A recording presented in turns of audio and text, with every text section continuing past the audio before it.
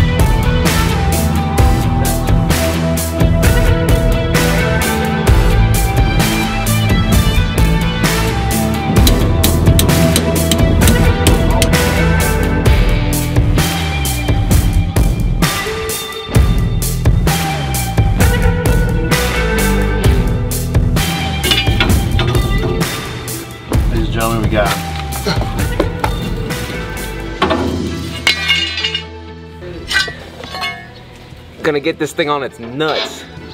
I think it's gonna drop it where we want it. Yeah. Wait, hit the point of putting that spring a spring wheel. I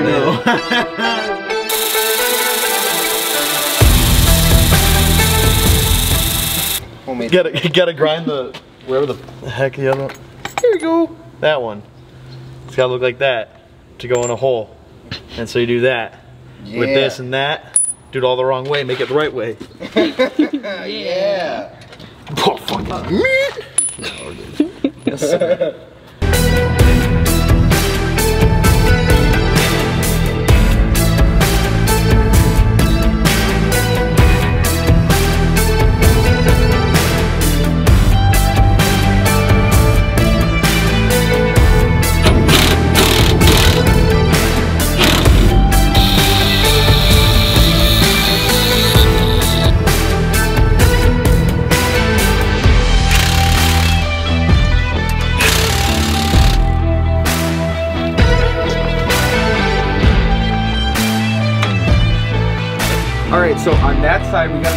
leaves, but upon further uh, like examination, this leaf pack has eight leaves in it, and that side only had six when we started. So the truck always leaned. We didn't know why. Now we do. So we're gonna take out as many leaves. Um, well, I guess we're gonna kind of like guessing, but uh, we're gonna match the leaf packs and hopefully it sits level and doesn't lean one way or another. Um, we're trying to figure out why they put extra leaves on one side of the truck and not the other side, but um, I guess we're gonna even it out and hopefully she sits right.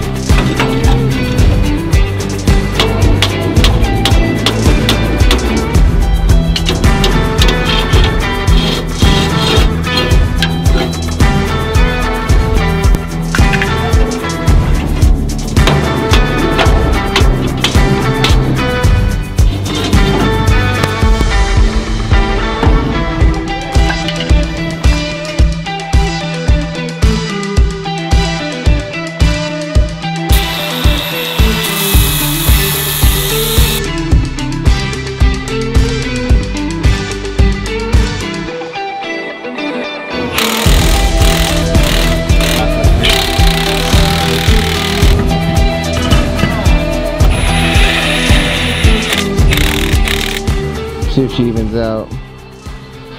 Drop her down. Oh. Yeah, sit on it. Oh, and the tailgate. I think that's about, that's what we needed. Oh, yeah.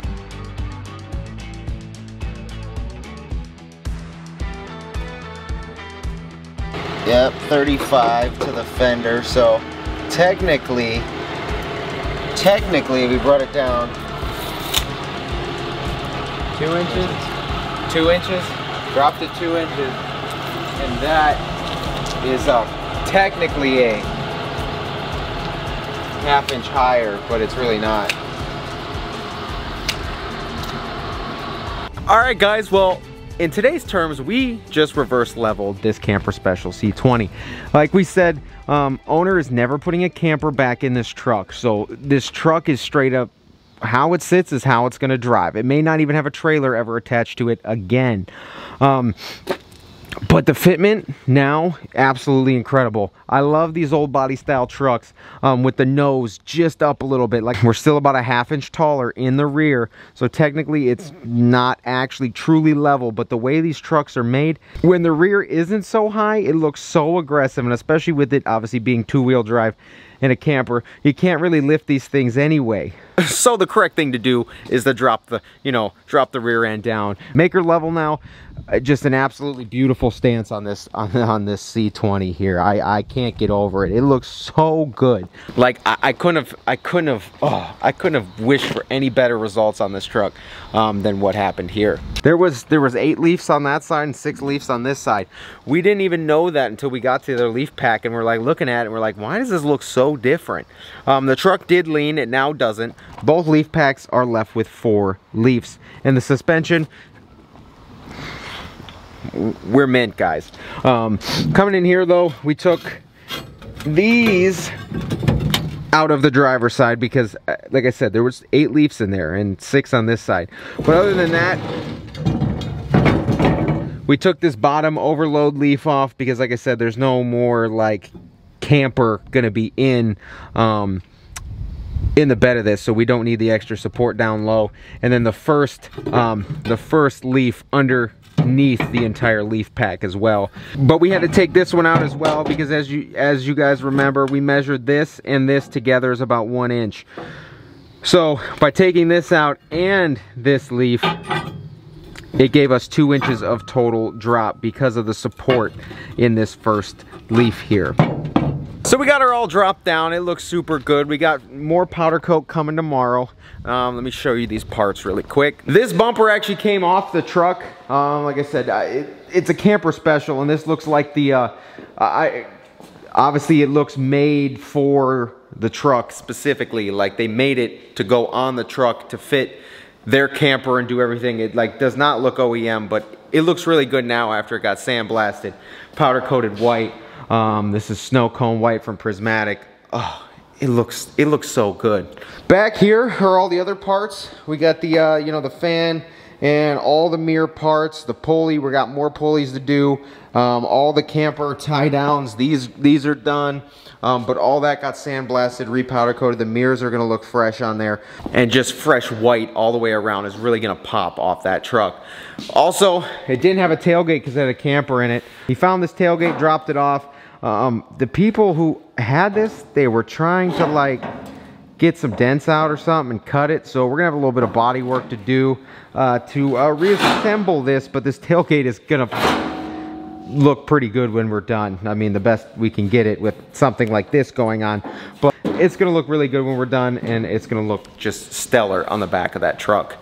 And then one more thing here before we actually get to pretty much finishing this truck up. Um, suspension was good, brakes are all done. New um, new shoes all the way around, uh, new brake cylinders in there as well. Um, drums look decent, so we did find this today.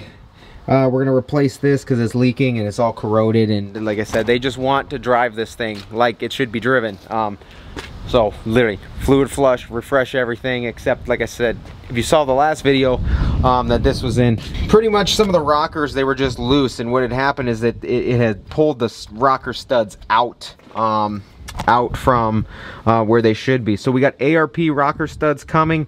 Uh, we're also going to pull everything else. We're actually going to pull this out. And like I said, while this motor's out, we're going to tear it down, reseal it, clean it all up, paint it, powder coat, whatever else we can. Um, these other pulleys and such. Obviously clean up all the grime and the oil from these valve covers being just loose and not connected clean all this up make this thing look and run brand new again. Um, and like I said while the heads are off as well make sure everything's good in the cylinders. When we put it back together we are not going to reuse the head bolts. If you no matter if it's a no matter if it's a Duramax if it's a Cummins um, like I said I got ARP 625 head studs in this truck. If I took my head off and put a performance head on it or needed to pull my head for whatever reason, I would order an entire new set of ARP 625. Some of you will call me crazy, but as soon as you torque those head studs down, you put them through, um, you know, the boost pressures and the heat cycles and all that, um, trust me, you want to get a new set. So we're going to pull these head bolts out and we're actually going to replace it not with ARP head studs, but brand new ARP head bolts. So, you know, they're they're higher grade, higher strength head bolts, but they're not head studs. Like I said, this isn't a high horsepower build. This is a, you know, pretty much classic semi clean up, get running, not really full restoration, but like partial um, situation going on here. So fresh ARP head bolts are going in there, ARP rocker studs. Um, we're gonna get all that back together. And like I said, this will all be cleaned up and painted. Um, we're gonna powder coat the intake, the valve covers, and like you already saw the air cleaner. Um, that's up there, that's gonna look sharp. All powder coated and cleaned up. Brake booster, all that getting cleaned. And um, actually not really replaced. You can see it's leaking from here, so we're getting all new one of those. And overall, it's gonna be clean, minty running unit when we're done.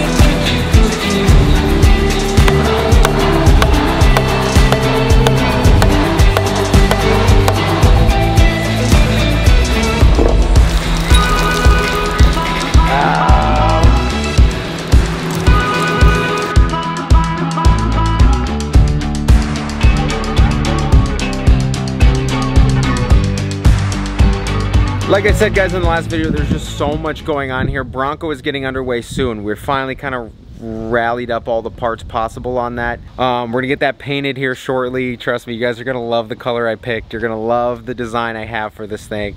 Um, it's gonna blow lots and lots of minds and I'm, I'm so, I'm, I am thrilled to bring this one to the table. Um, but we're gonna get started on that very, very, very shortly. Like I know you guys have been waiting forever, so have I. We're gonna do that. Um, hopefully we can dig into that this week, get everything stripped off, get the body panels kind of placed on there and get that going. Um, because I wanna get that painted so we can get this lifted and the interior all done. So um, we're gonna get that going here so, so soon. Just, just trust me and it, it'll be worth all the wait it's been so far. And sometime later this week, that's why we can't get so far ahead of ourselves because stuff always keeps breaking. 7.388 torque converter, I think. I think it ate the torque converter. I've got full reverse. Um, I used to be able to put it in drive and then my, my stall speed increased about 15 to 17. It, started, it bumped up to about 1500, then it bumped up to about 1700, um, and now it just doesn't go forward at all. So um, I think the torque converter finally ate itself and um, we got a replacement already. We gotta throw that in there this week and hopefully we can be driving that thing again soon. Because if not, I really don't want to rebuild the whole 4R100 um, right now anyway, um, that's for sure. And um, also the passenger window ate another window motor, so I gotta replace that too. Like I said, guys, stuff keeps, you know, it just, you know how it goes. Anyways, guys, if you enjoyed this video, shoot a thumbs up. If you haven't been here before, please get down and click subscribe. Drop me a comment if you haven't already. Take care, and I will see you guys in the next one.